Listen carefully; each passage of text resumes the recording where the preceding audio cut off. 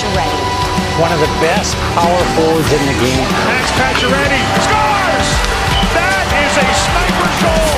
The captain gets the power play goal, and the Canadiens take the lead. He's a big guy, but he can move. Here comes Pacioretty on a breakaway! Scores! He's a pure sniper. That shot. Quick release puts it over the shoulder of Luongo and in. A power play goal. Finds ways to score goals consistently. It was Pacioretty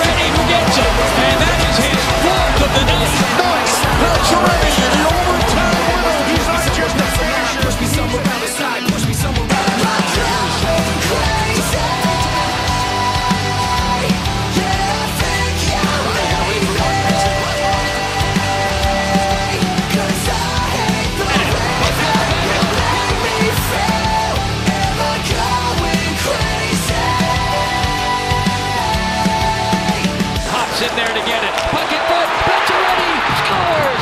It's over.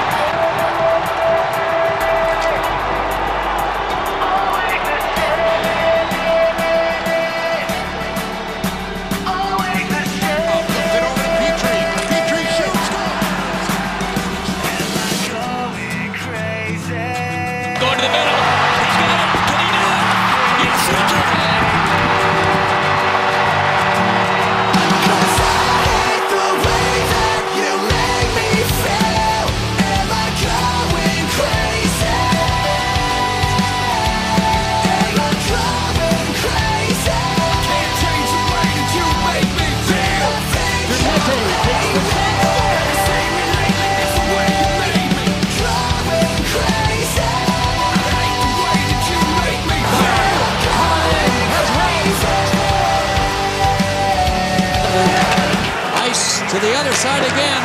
That's kicked that rebound score. Pacioretty. Am I going crazy?